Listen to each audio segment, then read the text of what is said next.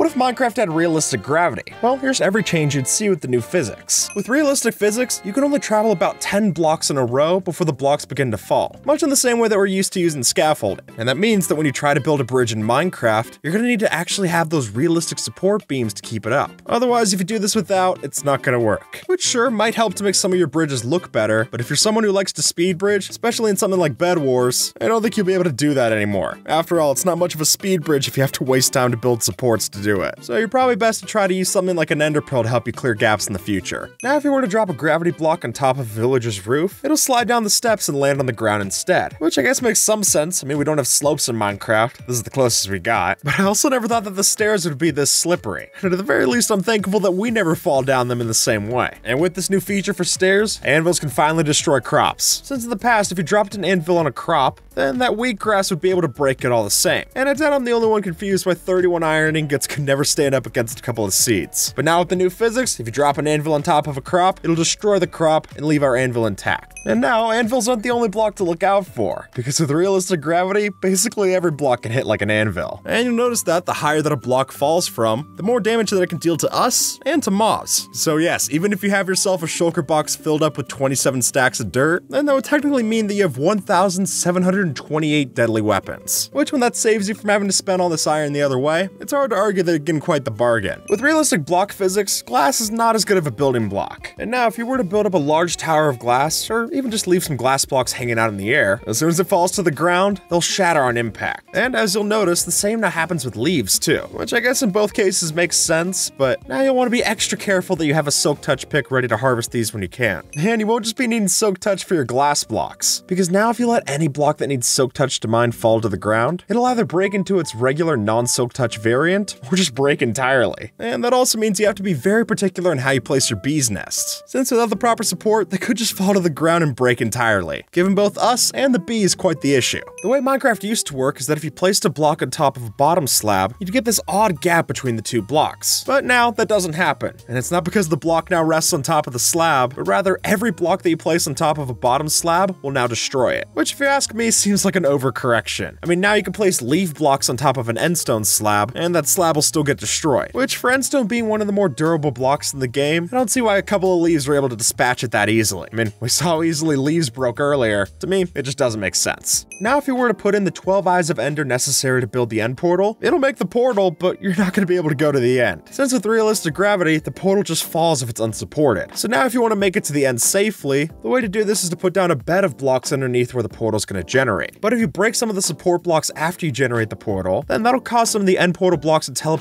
into the end themselves, which is all just way too meta for me to wrap my head around. And once you get to the end, it's not going to be a treat over there either, since here you'll find that the only blocks that defy gravity in this dimension are the obsidian pillars and the endstone island. Everything else obeys the laws of physics until you defeat the dragon. So if you're trying to bridge across the void by using some dirt or stone blocks, you're not going to be the only one falling to your death in the void. Every block you place comes right down there with you. So let's hope you get into Elytra quick, because otherwise exploring this dimension's just going to be a pain. In the past, if you place down string, you could support any block on top of that, which could be very helpful for placing down carpets in the air like this. But now you'll find it's not nearly as resilient. And just about any block that you place on top of the string is going to cause that to snap and the blocks fall down to the floor. And unfortunately, the cobwebs aren't any better, since any block that you place above that will now just fall through the spider silk, much like we would if we were to fall in as well. Now that everything has gravity, if you try to build a piston door in the usual way, everything's gonna fall apart. And you'll see as much from this basic 2x2 door example. Even if you understand the redstone, it's not gonna make the cut. And you'll find that the only workaround to get this working in your world is that you must have the pistons both open and closed simultaneously. Otherwise, you're just left with a bunch of redstone bits falling through the cracks. And that'll be especially true if you try to build a door any larger than this one. If you thought it was hard here, it's close to impossible with these other options. Perhaps surprising no one, flying machines no longer work with realistic gravity. Don't get me wrong, you can build them, but once you attempt to launch it, it's not going to go very far through the air. Which not only means that we can't use these machines for flying anymore, but it'll also break their use case in something like a bamboo farm. And much like our piston doors, this also breaks plenty of different entrances and elevators that we would have built otherwise. So for my money, you should save your time and not try to get the slime balls necessary to build one of these. It's not going to do you very much good. Especially since with these new changes, honey and slime blocks are no longer longer sticky. And with that small change, they're completely ruined for our use in redstone, which would be bad enough, but for the honey blocks it's even worse. Since because those take up a smaller size than the slime block, you can no longer place regular blocks on top of them. That'll just cause a whole gravity snafu, and honestly, it's not worth the hassle. And from now on, it might just be worth keeping your honey inside of the bottles anyway. Who knows, if you drink it, maybe it'll help cure the headache that all this causes. If you were to place a stack of trapdoors like this, then you're fine, whether that's with realistic gravity or without. But as soon as you accidentally flip that bottom trapdoor, it's when they're horizontal that you're gonna see a problem. And now the only way to have a stack of trapdoors like this is when they're all flipped up to be vertical. Otherwise, the gravity will kick in and all those gaps will start to be a problem as they tumble to the floor, which might just be an issue for this trapdoor and ladder combo that we've built in the past. Though with how weird that thing looks, it might be for the best that it falls apart anyway. As we saw with glass, not all blocks are created equal when it comes to durability, and you'll find as much to be true with these different plants. Since now, if you were to try and drop a melon or a pumpkin from a height any taller than two blocks high, they'll instantly break when they hit the ground, which is pretty satisfying, but perhaps the most annoying change for this is that honeycomb also acts the same way. And considering how cool of a building block that could be, it's a real loss in a builder's arsenal. So if you use it, make sure to treat it like sand, otherwise you're out of luck. Alright, pop quiz, how do you spawn a wither if there's realistic gravity? Because if you build the shape like you're used to, it's all just gonna fall apart. And that doesn't make for much of a wither, it really just makes a mess. But that's fine because there is a way to still solve this. And now, the only way to spawn the wither is to place this T-shape of block sideways. But if you're used to spawning withers underneath the bedrock portal in the end, this is nothing new.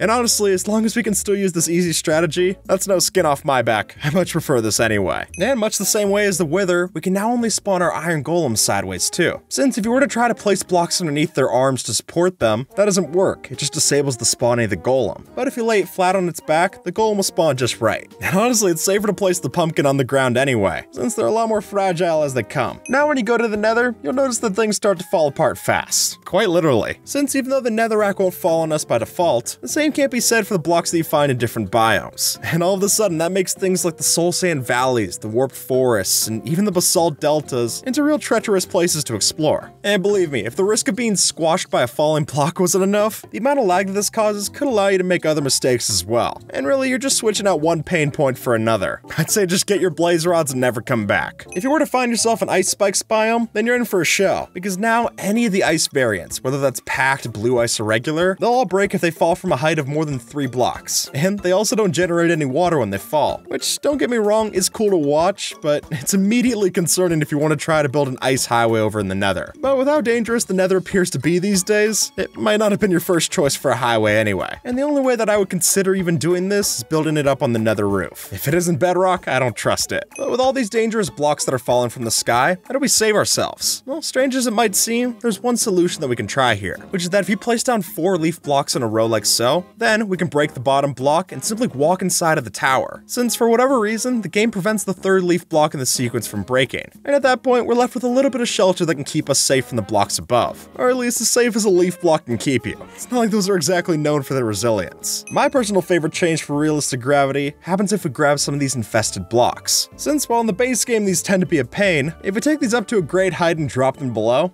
you'll notice that when they break on the ground, they can occasionally spawn a silverfish, which is not only satisfying to see a bunch of these silverfish lose their homes, but it also could add to the horror of the stronghold collapsing in on itself. Picture you're standing there, the roof closing in, and then to make matters worse, you got a bunch of these silverfish that are spawning around you. It'd be a funny sight, if not a little hectic. In the past, we were used to snow blocks and snow layers behaving pretty much the same. I mean, if you placed eight snow layers on top of each other, you couldn't even tell the difference. But that's just not the case anymore. Since now, if we place a block on top of these two examples, you'll notice that the one that we made out of layers will crumble underneath the weight, but with a regular snow block that we crafted like this, it'll work out just fine. But by far the craziest addition with the realistic physics is that we now have a way to make silly string or at least make our string pretty silly. Since if you build up a tower of cobwebs like this, and then break the second one from the bottom of the stack, all the rest of the cobwebs will go inside of one another, which when they all drop together gives you this very weird visual effect. Until after a few seconds of waiting, the cobwebs will just start placing themselves all over the place, which I can't quite explain, but if you're looking for a way to quickly prank your friend, it's hard to say this one isn't fun to pull off. And with that folks, YouTube thinks that you might like this video, so see if they're right and have a good one, alright?